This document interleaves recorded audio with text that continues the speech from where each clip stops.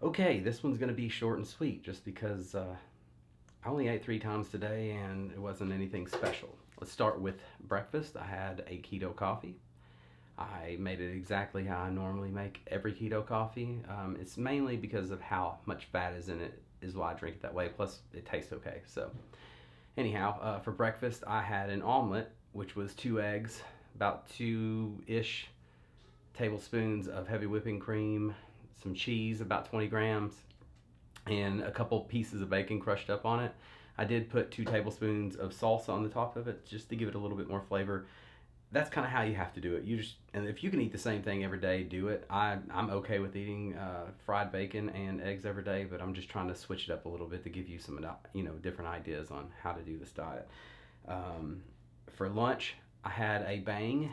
I'll get to that at the end and then I had uh, two cheese sticks, 28 almonds, the smokehouse almonds. All this will be up there for you to see so you know exactly what I use.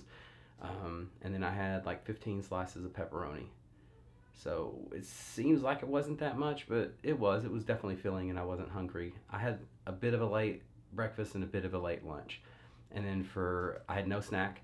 For dinner, I had ribeye, salad with, you know, uh, bacon bits, ranch, and cheese. Super basic. It was really good. I usually start my day with a fat drink and then end it with a fat drink, but looking at my macros today, I didn't think that it was necessary for me to have a fat drink at the end of the night. Um, we'll pull that up real quick for you. Again, you can follow me on MyFitnessPal and you can see my macros, the foods I ate, all that good stuff. So let's look at the diary today.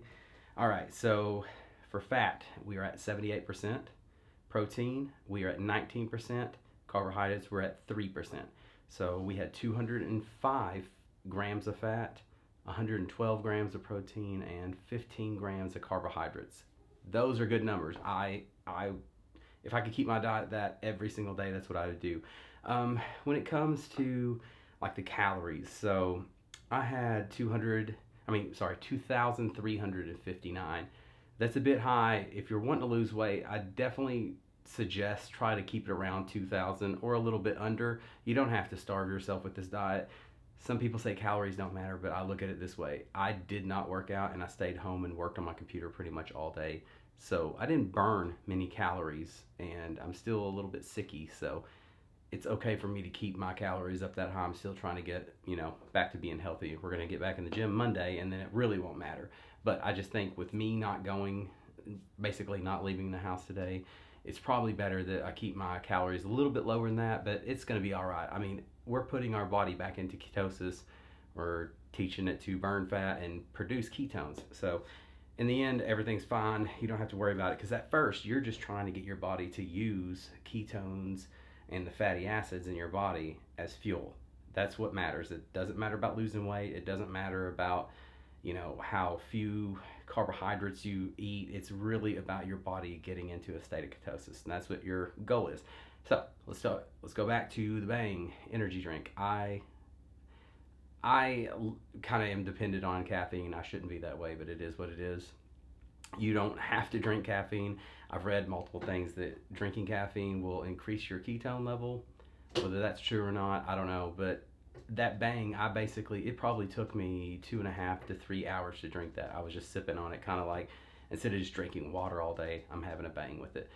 Which brings me to the next point. Make sure you're drinking plenty of water and make sure you're putting salt on everything. I know everybody says, oh, you shouldn't be having so much salt. Well, if you're not eating carbohydrates, your body's not storing water and it's flushing everything, so all your electrolytes. So you're gonna need to put salt on everything.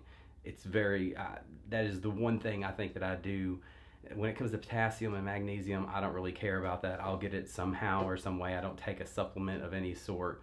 Uh, but again, the salt is very important. I, salt stuff, pink Himalayan salt is what I use. I don't use just regular table salt. Table salt. Um, I think I'm going to bring it to an end. We got tomorrow is a work day, and the next day is a work day. It's been holidays. I've been behind on my stuff, so it's just going to be a work day. Obviously, I'm going to film what I eat and send it off to you. I'll probably I'll try to think of some better tips for the next one as well. I'm just gonna try to keep remembering tips as I go. Anyway, until tomorrow, keep it keto.